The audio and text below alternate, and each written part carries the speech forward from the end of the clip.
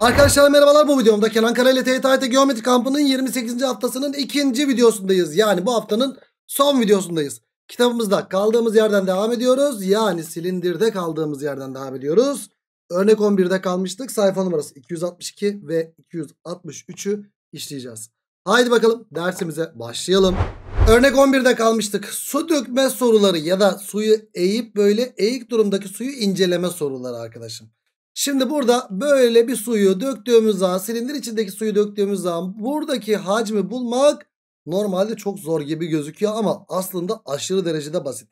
Bir kere şu mantığı bileceksiniz. Su yer çekiminden dolayı her zaman zemine nedir? Paralel değil midir? Evet suyla zemin her zaman paraleldir. Yani şu suyun çapı ise eğer şu elips şeklindeki şeyden şöyle uç noktalarını böyle birleştirdiğimiz zaman su işte bu su yüzeyinden çizilen bu çizgiyle şu zemindeki çizgi ne olmak zorunda?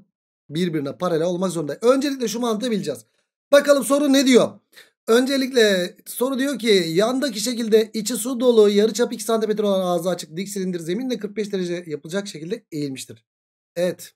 İçi su doluymuş. Böyle 45 derece yapacak şekilde eğmişim. Sonra buna göre diyor dökülen suyun hacmi. Neresi döküldü? Şuradaki beyaz kısım dökülmedi mi? İşte buradaki beyaz kısmın hacmi soruluyor. Hocam ben bunu nasıl bulacağım? Silindir değil, prizma değil, bir şey değil değil mi? Evet değil. Ama böyle eğik şeyler gördüğünüz zaman özellikle prizmanın silindirin içerisinde eğik böyle şey gördüğün zaman hemen böyle tam bir silindir yap kardeşim. Bak alt taraftan tam silindir yap. Aa şurası tam bir silindir oldu değil mi? En önemli nokta burası. Tam silindir yaptın. Bir de ben neyi biliyorum? Suyla zemin paralel ya 45 dereceyi kullanmam lazım. Suyla zemin paralel olduğundan Z'den dolayı burası 45 derece yapar. Hocam burası da 45 derece yapar. Aa, burası da 45 yaptı. Şurası 90 ya. 45 45 90 üçgen çıktı. E böylelikle yarıçapta ben 2 olduğunu biliyorum. Hocam 2 burası 2 burası. Bak şurada bir dik üçgen çıktı. Yani 4 ikizkenar dik üçgen hatta. Baksana 45 45 4 ise burası da 4 oldu. Aa şuradaki silindirde yani şu parçadaki silindire dikkat ediyoruz şimdi. Bu parçadaki silindirin bak ne oldu? Eğdik ya. Yarısı dolu yarısı boş değil mi burası? Evet. İşte buradaki parçanın nesidir arkadaşlar? Yarısı dolu yarısı boş olduğu için V dökülen ne olacak arkadaşlar? Şuradaki silindirin hacminin yarısı olacak. E o zaman bu silindirin hacmini bulacağız. Bunun yarıçapı kaç? 2. Hocam pi r kare çarpı yükseklik 4. İşte bu tüm silindirin hacmini veriyor. Döktük ya böyle eğdik ya. Eğince tam böyle uç noktaya geldi. Yarısı dolu yarısı boş. E, v dökülen ne olacak? Bölü 2 olacaktır. Yani buradan cevabı ne buluyoruz? 8 pi olarak buluruz. Evet güzel bir soru dostlar. İşte mantığı anladınız. Eğik bir şey gördüğünüz zaman tam bir silindir yapacaksınız. Burada üst tarafında zaten tam silindir vardı. Alt tarafında böyle tam bir silindir yapıverdik. Hadi bakalım cevabı da 8 pi buluverdik. Gelelim bizim bizim o tarafça konuştuk biraz. Yaptık yapıverdik. Buluverdik. Hadi bakalım. Neresiydi benim memleket? Biliyorsun sen. Ya şu Ken 06'tan dolayı bu arada. Ne diyorsunuz hep? Kimi görsem ama var ya öğrenciler, öğretmenler, arkadaşlar, yeni tanıştığım kişiler. Hocam siz Ankaralı değil miydiniz? Tamam da Ken 06 online kaynaklanıyor ama Ankaralı değilim. Neyse devam. Birinci şekilde toplam yüksekliği 15 birim olan dik silindir şeklindeki bir kap 11 birim yüksekliğine kadar su ile doludur. Kap ikinci şekilde gibi su dökülmeyecek şekilde eğildiğinde AB en az kaçtır diye soruluyor. Arkadaş ben kapı eğmişim. Su dökülmeyecek şekilde buraya getirmişim. X böyle oldu. Peki x'in daha da azalması için ne yapmam lazım? Hop biraz daha eğmem lazım bardağı. Biraz daha eğersem şöyle olursa x daha da azalır. E su dökülmeyecek şekilde en az x'i bulmak istiyorsam ne yapmak zorundayım?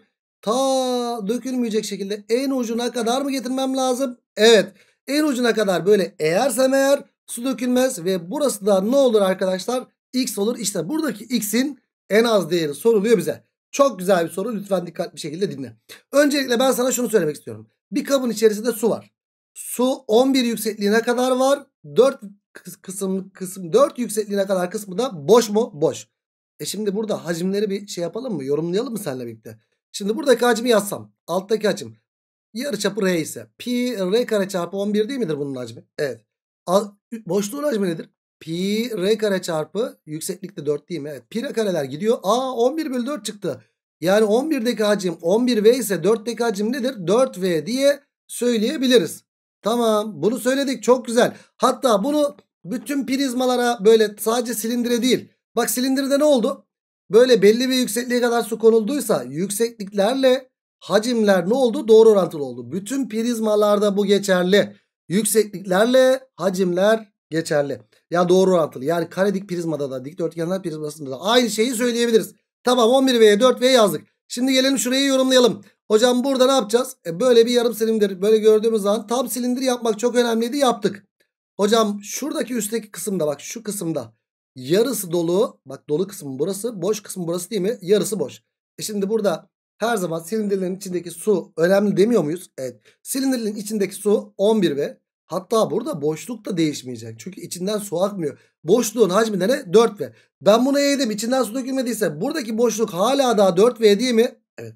Aa burası 4 ve yarısı dolu yarısı boş. E burası boş olan kısmı 4 v ise buradaki kısımda burası da 4 v olmak zorunda mı? Evet. E şimdi dolu olan kısma bakalım. Dolu olan kısmı 11 v olacak. 11V olması için 4V'si buradaysa sulu olan kısmın şuradaki kısmın ne yapar o zaman arkadaşlar? 11V'den 4V çıkartınca 7V kalır buraya. Vay vay vay. Şimdi dikkat. Burası 7V. Şurası da 8V mi yaptı? Evet. E biraz önce dedik. Yüksekleriyle hacimleri doğru orantılıydı. O zaman burası 7V'lik kısım ya. Bak bak bak bak. Şurası 7V'lik kısım. 7V'ye 8V. O zaman burası 7A'ya. Burası da 8A olmaz mı? Şöyle silindiri tam düşünecek olursam. Evet. 7 ve 7A yüksekliği varsa 8V'de de 8A yüksekliği vardır ve ben bu yüksekliğin tamamının 15 olduğunu biliyorum. 15A eşittir 15 ise A'yı 1 bulurum. X de böylelikle 7A olduğundan A yerine 1 yazarsam cevap 7 çıkar.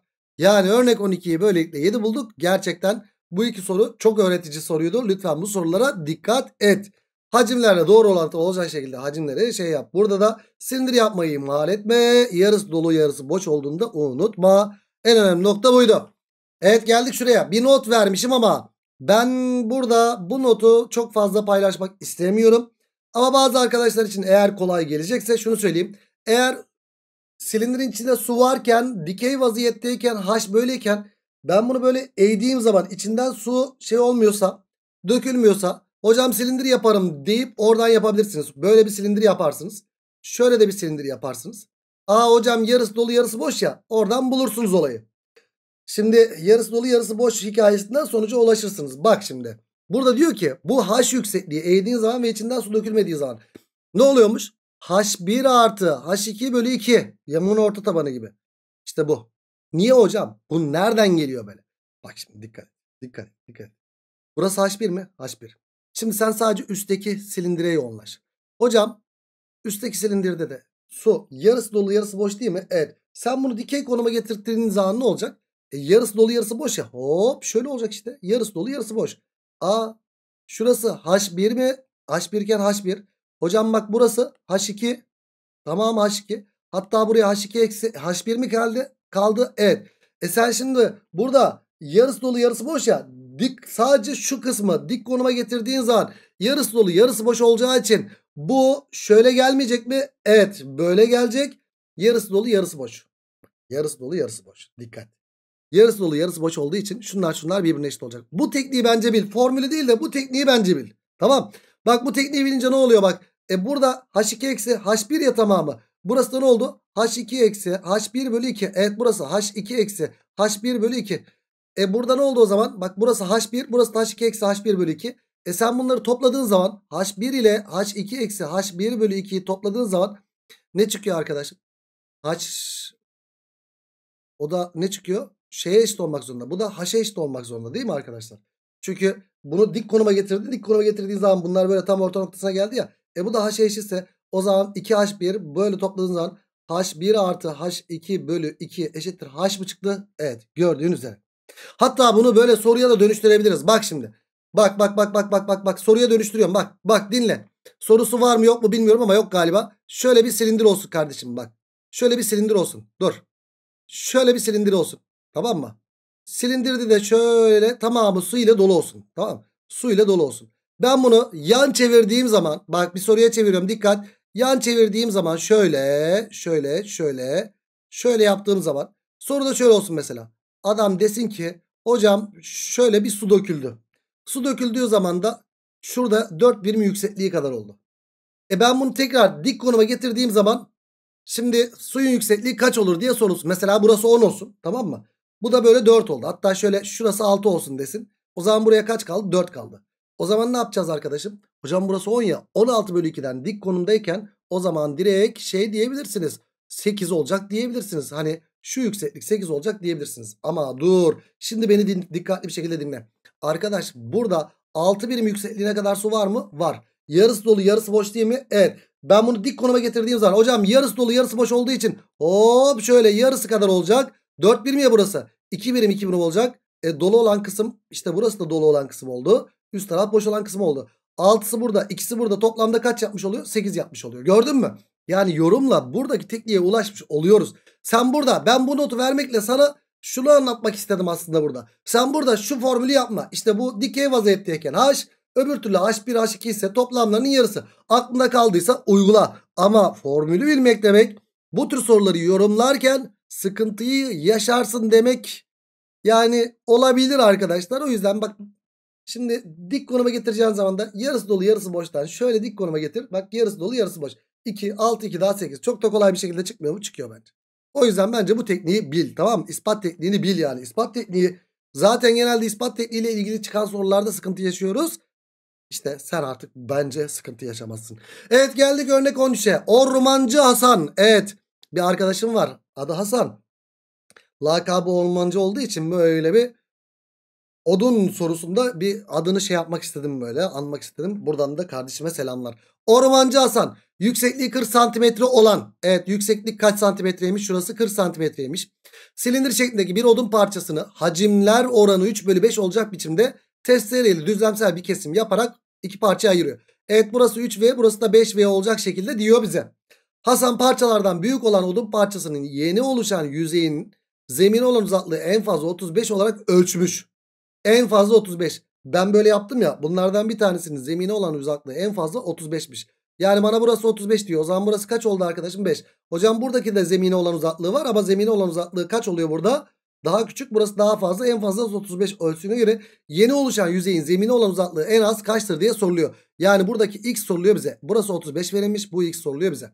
Şimdi hacimler oranında 3 bölü 5 olduğunu biliyoruz. Eyvallah. Tamam. Şimdi ne yapacağız arkadaş?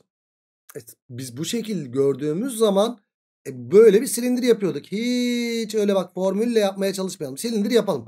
Böyle silindir. Bu sefer eğilmemiz eğik kesilmiş. Böyle bir silindir yaptım. Tamam silindir yaptım. Benden ne isteniyor? X isteniyor. Bak şuraya X dedim. Hocam burası X. Buraya ne kaldı o zaman? 35 eksi X mi kaldı? Evet burası 35 eksi X oldu. Şimdi dikkat et. 5'teki hacim 5V iken 35 eksi X'teki hacim 35 eksi XV olacak. Hatta burada bölü 2 ile uğraşacağım. Bence iki katını alayım. 35 bölü 2 sıkıntı olacak çünkü. Çünkü bu yarısı bu da diğer yarısı değil mi? Evet. Yani 5'teki hacime ben ne diyeyim? 10V diyeyim. O zaman buradaki hacim de 35 eksi x'teki de 2 katı 70 eksi 2x olur. Yarısı, yarısı yarısı burada ya. Yani burası da 35 eksi xv'ye 35 eksi xb mi yapıyor burası da? Evet. Sonra x'teki hacim de ne olacak? Yine 2 katı olacak. Bak dikkat et. 35 eksi x'teki 35 eksi x'in 2 katı oldu aslında. Yarı yarıya parçaladım burada. Burası da 2 katı 2xv mi olacak arkadaşım? Evet. E şimdi hacimler oranında 3 bölü 5 vermiş bana. Hadi bunu kullanalım. Hacimler oranı 3 bölü 5 yazıyorum. 3 bölü 5 oranı eşittir. Üstteki hacim ne? Şu ikisinin toplamı. Hatta burası kaç yapıyor? Bak şöyle şey yap. 35 v eksi x v ya. Şu ikisini topladığım zaman kaç yapıyor? 10 v ile bunu toplarsam 45 v eksi x v yaptı. Hocam 45 v eksi x v bölü şu üstteki. Alttaki de ne yapıyor? Hani burası da 35 v 35 ve eksi x v ya bak burası da aynı şekilde. Şu ikisini toplarsam ne yapıyor arkadaşım? Eksi x ve artı 2x ve artı x v yapıyor galiba değil mi? Evet 35 ve şöyle yazıyoruz. 35 ve artı x v oldu arkadaşlar burası. İşte buradaki oranda 3 bölü 5'miş. V parantezini aldığımda alalım. V parantezini aldığımızda V'ler sadeleşiyor mu? Sadeleşiyor. İşler dışlar yapalım. Şimdi ne yapıyoruz? 3 ile burayı çarpıyoruz. 3 ile 35'i çarpı 3 kere 5 15 105. 105 artı 3x. Sonra devam ediyorum. Eşittir. 5 ile buraya çarpıyorum. 5 ile 45'in çarpımı 225 yapıyor. Eksi 5x yaptı burası. Attım bunu buraya. 8x yaptı. 225'ten 105 çıkınca 120 kaldı. O zaman x de 4'e bölsem 30 15 mi çıkıyor? Evet bizden de zaten bu isteniliyor. Direkt kendiliğinden çıktı mı çıktı. Öyle şey yapmadık arkadaşlar. Böyle ne yaptık? Yüksekliklerle doğru orantılı olacak şekilde hacimleri ne yaptık? Oranladık. Ve bence bu teknik önemli. Tamam dostum. Evet gördüğünüz üzere ispat yöntemiyle tekniğiyle yaptık. Burada iki katını kullanacağım için sadece 5 tek hacime 5V demedim de ne dedim? 2 katı 10V dedim. O zaman burada da 2 katı burada da 2 katı şeklinde verdik. Ve istenilenleri tek tek yazdık ve kendiliğinden çıktı mı çıktı. Normalde şuraya R deyip de pi R kare bir yükseklikleri de kullanarak da yine sonuca ulaşabilirsin ama sanki böyle de çok kolay bir şekilde çıktı mı? Çıktı. Evet gençler örnek 13 15 çıktı ve çok da güzel bir şekilde çıktı. Geldik örnek 14'e. Ne yapmışız? Bir küp var böyle elimizde. 64 birim küpten oluşan. Yani burası birim küpten oluşuyor. 1, 2, 3, 4. Birim burası 4. Birim burası 4. Birim de burası. 64 birim küpten oluşan bir küpün küpten şekildeki gibi yarıçap 1 birim olan 12 1 birim olan silindir çıkarıldığında 12 tane birim küp zarar görüyor. Arkadaşlar böyle çıkarttığım zaman normalde yüksekliğini bir, bir birimden azalırsam ne olur? 4 tane birim küp zarar gör değil mi? E yüksekliği bak şöyle çünkü şöyle bir birimden az olursa bak bir birimden az olursa. Hocam 1 2 3 4 öndeki 4 küp zarar gelir. Peki birden fazla olursa ne olur arkadaşlar? 1.1 olursa kaç tane birim küp zarar görüyor? 4 önde 4 arkasında 8. 12 küp zarar görsün diyor ya bize. 12 küp zarar görmesi için ne olacak o zaman? E, 2 birim küpten daha böyle 2.1 2.2 gibi bir şey olması lazım değil mi? Evet 2.2 gibi bir şey olması lazım. 4 tane önde. Sonra 4 sıra arkasında. Sonra bir daha 4 sıra arkasında. 4 8 12 yani yüksekliğinin en az kaç olması lazım arkadaşlar? 2'den büyük olması lazım yüksekliğinin. Buna göre diyor 12 tane birim küp zarar görüyorsa. Buna göre diyor oluşan yeni cismin yüzey alanı en fazla kaç? En fazla kaç birim karedir diye soruluyor arkadaşlar bize. Oo, güzel bir soru. Güzel bir yorumlama. Not silindirin taban merkezi ile küpün ön yüzeyinin merkezi aynı noktadadır. Tam buradaymış arkadaşlar. Bu yarıçap yarıçap zaten bir birim bir birim olduğu zaten belli. Şimdi burada ben bir küp çıkartacağım. Nereye kadar gitmem lazım yükseklik olarak o zaman buraya gitmem lazım. E, o zaman daha da ileri gidince mi yüzey alanı en fazla olacak? Evet. Olabildiğince en geriye gitmem lazım. Bak dörderli gruptan 3 tane çıkartacağım arkadaşlar. Niye hocam? Ee, daha fazla ileri gidince yüzey alanı artar mı? Evet içerideki yüzey artmıyor mu? Çünkü yüksekliği 1 olunca bak şöyle bir silindir oluyor ya içeride bak. Bak şöyle bir silindir olacak ya şimdi. Şöyle bir silindir. Sen yüksekliğini 1 seçersen bu içeride bak sen burada bunu çıkarttın arkada oluştu. Evet parça çıkartmada ne yapıyorduk? Çıkan yüzeylere de dikkat ediyorduk. Eklenen yüzeylere de bakıyorduk. Şimdi tam arkadan çıkmadığı için ben bunu çıkarttığım için arkada da oluştu mu oluştu. Ön arka nötrledi. Ne oldu? İçeride silindirin yan yüzeyi ne oldu arkadaşlar? Fazlalaştı. Yani şuradaki yanal alandaki şu yükseklik ne kadar yüksek olursa yüzey alanı o kadar artar. Ben 12 tane birim küpün zarar görmesini istiyorsam şu yüksekliği 1, 2 tam 3 birim seçerim. 3.1 olursa o zaman bir dörtlü grup daha zarar görecek. O yüzden yüksekliği kaç seçeceğim? 3 seçeceğim. Aslında bana ne soruluyor burada? E buna göre oluşan yeni cismin yüzey alanı en fazla kaçtır diye soruluyor. Şimdi parça çıkarma sorularında neye dikkat ediyorduk? Önce ilk şeklin alanını alıyorduk. Hocam 6 tane 4'ün karesi bir kere elimizde var. Değil mi? İlk şeklin yüzey alanı. Sonra eklenen parçaları ekliyorduk. Çıkarılan parçaları da çıkarıyorduk. E burada eklenen parça var mı? Var. Çıkarılan parça var mı? Ön çıktı, arkada çıktı. Ön çıktı, arkada oluştu. Bunlar ön arka birbirini nötrledi. Sadece silindirin yanal alanı fazlalaştı. Fazlalaşan alanı da yazacağız. Yanal alanda nedir? Yarıçapı kaç bunun? 1 değil mi? Evet 2 pi r. Yanal alan bulurken taban çevresi çarpı yükseklik. 2 pi r taban çevresi çarpı yüksekliğinde kaç olmasını istiyorduk? 3 olmasını istiyorduk. Tam 3 olursa yüzey alanı en fazla olmuş olur. O zaman burası 96 artı 6 pi şeklinde mi oldu? Yeni oluşan şeklin yüzey alanı aynen böyle arkadaşım. Evet gördüğünüz üzere örnek 14'de yine güzel bir şekilde bulduk. Bize kendisi yorumlattı. Katı cisimlerde de böyle e, tam nasıl olacağını bize söylemedikleri sorulara da, sorulara da biz yeni nesil diyoruz. İşte bu da tam bir yeni nesil soru oldu arkadaşlar. Örnek 14 bu çıktı geldik en kısa yol problemlerine. Şimdi dostlar en kısa yol. Daha önce prizmada da yapmıştık değil mi? Ne yapıyorduk? Yüzeyden gitme. Ama yüzeyden yüzeyden yüzey soruları diyoruz daha doğrusu. Daha doğrusu buna aynı zamanda karınca soruları da diyoruz değil mi? Şimdi yüzeyden A'dan C'ye giderken ben ne yapmam lazım arkadaşlar benim bunu? Açmam lazım. Yüzeyden götüreceğim. Dikdörtgen. Burada ne yapıyor aslında? Bak şöyle sadece ön yüzeyden gidiyor hocam. Şimdi silindirin bir önü var bir de arkası var ya. Ön yüzeye gidiyorsa hocam bir yarısını gidiyor. Normalde burası nedir? 2 pi r kadar değil midir açılışı? Evet. Sadece ön yüzeyden gidiyorsa pi r kadar gidecek burası. Burası da pi r. Açtığın dikdörtgeni. E hocam yarısına kadar gidecek ya. A'dan başlayıp yarısına kadar gidecek. İşte bunu da çizersin. Sonra burada Pisagor bağıntısıyla sonuca ulaşırsın. E burada hocam bak ön yüzey ve arka yüzey tam buradan başlayıp buraya gidecek. A'dan başlayıp D'ye gidecek. Zaten buradaki açılışta şuna da dikkat etmen lazım. Sen böyle açtığın zaman şöyle düşün. Bak bak bak bir saniye bana bak. Şöyle hop açtığın zaman buradaki noktaları açtığın zaman şöyle buradaki noktaları. Aynı nokta bak burası. Hop açtım. Hop açınca bu noktalar birleşiyor. Bak buradayken böyle. Hop açtım. Şöyle mi oldu? Evet. Göremiyorsun. Şöyle bu noktalar uç noktada oluyor. Yani sen bunu açtığın zaman A noktası buradayken bak buraya geliyor bu. D noktası buradayken bak bu buraya geliyor. Dikkat buna dikkat et tamam mı? Evet şimdi buna dikkat ettin. C nerede kalıyor ona da dikkat et. C de bak ortada kalıyor bak. B ortada kalıyor. Açtığın zaman tam böyle ortada kalıyor. B'yi burada düşün. Hani böyle bir şeyde. Tamam mı? Ben yine kendimi büyütmeyeyim. B'yi ortada düşün şöyle. Açtığın zaman bak ortada kalıyor böyle. Gördün. Açtın B ortada C de ortada kalıyor. İşte burada A'dan başlayıp D'ye gideceksin. Hop böyle. Hocam burası şu mantıkla da ön ve arka tam yüzeye gidiyor. Ön ve arka. Buradan köşeye kadar gideceğiz diyebiliriz. Yani böyle Pisagor. Burası H. Burası da tam açılacak. 2 pi kadar değil mi? Evet. Şimdi şurada dikkat et. Burada da açacaksın ama tam açtığın zaman burası ne oluyor? Hocam burası 2 pi kadar oluyor. Bak ön yüzeye gitti. Arka yüzeyde de bu kadar gitti. İşte buna dikkat et.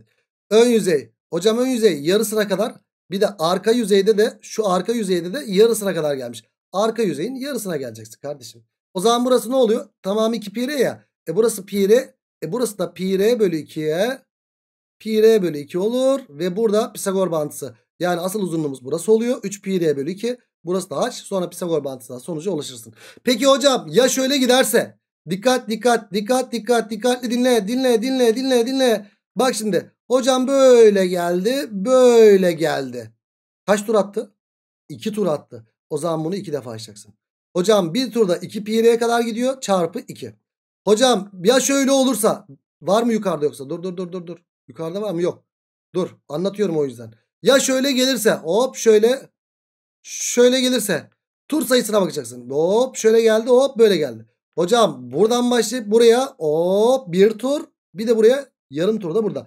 Bir buçuk tur atacaksın. Hocam 2 pi r burada bir de yarım tur yani 2 pi r'nin yarısı pi r kadar diyeceksin. Hop şuraya Pisagor bağıntısı 3 pi r burası olacak. Burası da ne olacak? H olacak ve Pisagor bağıntısından sonuca ulaşacaksın. Aynı şeyi burada da böyle. 4 pi r burası burası da h deyip Pisagor bağıntısından sonuca ulaşacaksın. Yeter ki aç tur sayısı önemli. Nereden nereye gittiği önemli. Bunlara dikkat edeceksin. Burada mesela burada da şey önemli. Ee, yarım tur gitti burada. Ön yüzü gitti. Arka yüzünde yani ön yüz tamamı 2 pi r ya. Pi r pi r. Arka yüzde de böyle yarısı gidecek hikayeleri de böyle soruda görmen lazım. Kullanman lazım. Anlaştık. Evet yüzey soruları da burada bu arkadaşım. Gerçekten çok kolay. Mesela bu tam tur atıyor. Hadi tam tur atsın. Tam tur attığı zaman dikdörtgeni açacağız arkadaşım. Buradan başlayıp buraya gideceğiz. Buranın 2 pi r olduğunu biliyorum ki yarıçap uzunluğu 3 bölü pi. Yani 2 pi 3 bölü pi yazdık. Şunlar şunlar gitti. Burası 6 yaptı.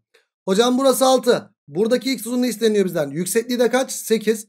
E bitti. Pisagor bağıntısı 6 8 10 üçgeninden en kısa yol buradan buraya ne olmuş? 10 santimetre gitmiş oluyor arkadaşım. Evet gördüğünüz üzere A'dan başlayıp D'ye gitti. Ön arka tam yüzeye gittiği için. Geldik şuraya. Yani örnek 16'ya. Yani son sorudayız. Bu sefer ne diyor? Yarıçap uzunluğu 6 birim. Yüksekliği 12 pi birim olan silindir tabanına dik bir düzlemle kesildiğinde yüzey alanı 144 kök 2 pi birim kare artmaktadır. Aa ben bunu kestiğim zaman yüzey alanı artar mı ya? Artar tabii ki. Eskiden silindirin yüzey alanı burasıydı. Tabanlar vardı. Bir de yanal alan vardı. Hocam burada yanal alan hala aynı. Taban alanlar da hala aynı. Ben bunu kestiğim zaman ne oldu? Yanal alan bak şuradaki dikdörtgenlerin alanları ekstradan olmadı mı? Artmadı mı? Arttı. Yani yüzey alanı 144 kök 2 pi birim kare artmış. Hocam iki tane aynı dikdörtgen. O zaman bu dikdörtgenin alanı nedir arkadaşım? Bu dikdörtgenin alanı 72 kök 2 pi kadarmış. Şimdi şekil 2'deki K köşesine bir karınca konulmuştur. Şuradan şuraya gelecek. Evet buradan başlayacağım. Şöyle şuraya doğru geleceğim arkadaşlar. Haydi bakalım şimdi. Bir hamle yapmamız lazım. Güzel bir hamle yapmamız lazım. Yarıçap uzunluğu da 6 mı? 6. Arkadaş burası 6 olarak yok. Yarıçap uzunluğu 6 verilmiş. Yüksekliği de 12 pi verilmiş. Hocam burası 12 pi ise burası 12 pi olduğundan dolayı 12 pi ile neyi çarparsam 72 kök 2 pi yapar? 6 kök 2. Burayı 6 kök 2 pi olarak buldum. Bak şimdi 6 kök 2 olarak buldum. Hocam burası 6 kök 2. Dikkat et. Ben neyi bulmalıyım arkadaşlar? Burada şuradan hop şuraya geleceğim ya. Bu çemberin şuradaki kaçta kaçlık kısmı olduğunu bulmam lazım. Şimdi burada en etkili silahımız yarıçap değil mi? Evet. En güzel eklisim yarıçap, yarıçap. Hop şurası 90 derece. Yarıçap burası. Yarıçap burası. 6 6 6 kök 2. Yani şöyle. Yarıçap yarıçap çizdik. 90'ı ben kafada buldum da burayı yazdım pardon. Yarıçap yarıçap 6 6 6 kök 2 çıktı. Aa burası 90 derece oldu. Süper. Hocam bizim karınca ne yapıyor? Hangi yüzeye gidiyor? Hop 270'lik yüzey üzerinden gitmeyecek mi? Çünkü bunun arka yüzeyi. Burası kaç derece? 90'lık yüzey. 90'lık yüzeyden gitmeyecek. 270'lik yüzey üzerinden gidecek. Şöyle gelecek. Yani biz şuradan başlayıp şöyle gelseydik eğer buradan başlayıp şöyle buraya gelmiş olsaydık tam bir yüzeye dönecektik. Ama adam buradan başlayıp nereden başlıyor hatta buradan başlayıp nereye geliyor? Hop şöyle şuraya geliyor. Buraya da baktığın zaman şöyle şöyle şunun şeyine baktığın zaman 90'lık kısmı değil de 270'lik kısmı gitmiş oluyor. O zaman 270'lik kısmı açacağız. Yani şu kısmı açacağız kardeşim. Bu 270'lik kısmın açılmışında şöyle bir dikdörtgen mi olacak? Evet. Burası normalde 2 pi r kadardır. R dediğimiz ne? 6. Ama bizden 270'lik kısmı açmamız isteniyor. Böyle silindiri prizma gibi düşün. O prizmayı açacağım. 2 pi r ama 270'lik kısmı 270 bölü 360'lık kısmı açıyorum. Normalde şunlar sadeleşince 4 yapıyor 3 yapıyor. Hocam e, burada da kaç yaptı? 6 kere 2 12 yaptı. 12 ile de 4 sadeleşince 3 yapar. 3 kere 3 9 yapar. Yani burayı 9 pi bulduk. Burası 9 pi kardeşim. Başka ben bu yüksekliğin kaç olduğunu biliyorum. 12 pi olduğunu biliyorum. E burası da 12 pi. E o zaman bizim eleman şuradan başlayıp şuraya gelmeyecek mi? Evet. Bak burası 9 pi. Burası 12 pi. 9 12 ne üçgeni? 15 üçgeni olduğu için burası da karıncada ne yapacak? 15 pi'lik kısım gidecektir. Yani cevap 15 pi olacaktır. Tekrar söylüyorum şurayı. Bizim eleman buradan başlayıp buraya gidiyor ya. Bak kaç derecelik kısmı? 270 derece olarak bulduk burayı şuradaki açıyı.